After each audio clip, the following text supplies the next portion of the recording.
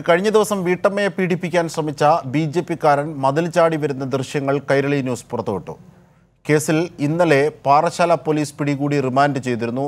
വിവരങ്ങളുമായി ജീവൻ കുമാർ ചേരുന്നു. ജീവൻ എന്തൊക്കെയാണ് ഇതിന്റെ വിവരങ്ങൾ? ശ്രമിച്ച സംഭവത്തിലാണ് ബി ജെ പി പ്രവർത്തകനായ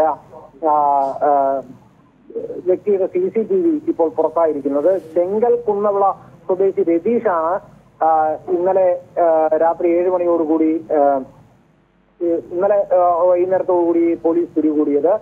ചെങ്കൽ വലിയ കുളത്തിന് സമീപത്തായി താമസിക്കുന്ന അറുപത്തെട്ട് വയസ്സുള്ള വൃദ്ധമാതാവിനെയാണ് ഇയാൾ പീഡിപ്പിക്കാൻ ശ്രമിച്ചത്. തിരുവനന്തപുരത്ത് താമസിക്കുന്ന ഇവർ തിങ്കളാഴ്ച ഇവരുടെ ഭർത്താവ് മരണപ്പെട്ടതിന്റെ രണ്ട് വർഷം തികയുന്ന ചടങ്ങുമായി ബന്ധപ്പെട്ടാണ് വലിയ കുളത്തിന് സമീപത്തെ വീട്ടിലെത്തിയത്.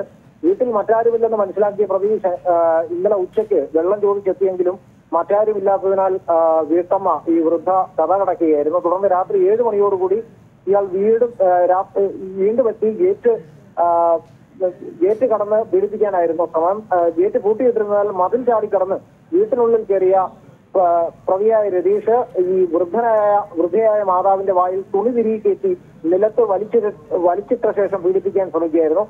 ബഹളം കേട്ട് നാട്ടുകാർ എത്തിയപ്പോഴേക്കും രക്ഷപ്പെടാൻ ശ്രമിച്ച ഇയാളെ നാട്ടുകാർ പിടികൂടി പാറശാല പോലീസിൽ ഏൽപ്പിക്കുകയായിരുന്നു. ഇയാളെ പിന്നീട് പോലീസ് റിമാൻഡ് ചെയ്തു.